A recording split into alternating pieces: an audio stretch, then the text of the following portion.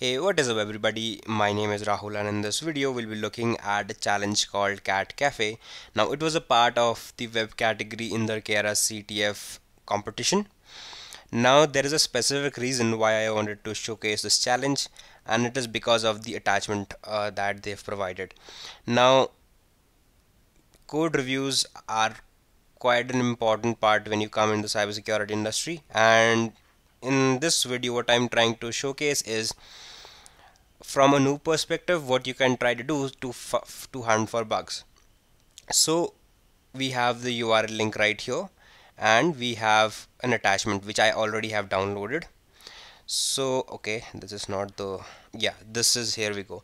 So we have a flag.txt file. This is a docker file which means that it is running inside a docker container. And we have the templates. So there are a bunch of different methodologies that people follow.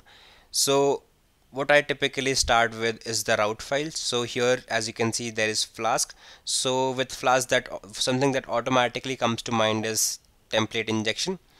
But here you don't have an avenue for that.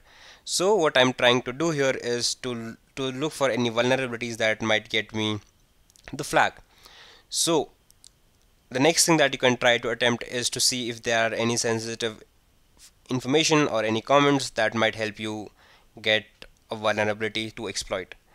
So since this is a simple web app challenge, what we'll be doing is we'll be going line by line and focusing on the routes. So here you have the slash route and it'll just give you the index.html file which will typically be in the templates directory and as you can see this is the file and here we have it so this is the template sorry this is the index.html file that is being rendered. Nothing sensitive no comments as such. Let's get back again to the app.py file. So here you have a route called slash image. So let's just see. You have the slash image route and it is expecting something right? So the requested URL not found on the server cool. So here you can see that you have an image route and there is a function called serve image it expects a parameter as you can see from the args and it is a get parameter with the name of f. And let's just say f. And it what it does is it is preventing directory traversal using dot dot slash. Cool we'll be looking at this later and how you can bypass filters. And if after it has replaced any dot dot slashes in the URI or in the parameter it'll what it'll do is it'll just append your file name or the or whatever you had entered or passed to the f parameter and it will serve from the images directory and as you can see right here. So let's just try to bypass this. But before that let me just show it to you how this typically works.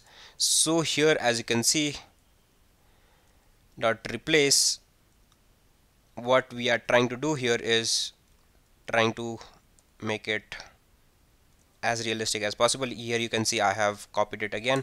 And as you can see what will happen if you try to replace these both with uh, if you try if you have this as an argument and if you have this in the in the first parameter and this in the second it will replace both of these.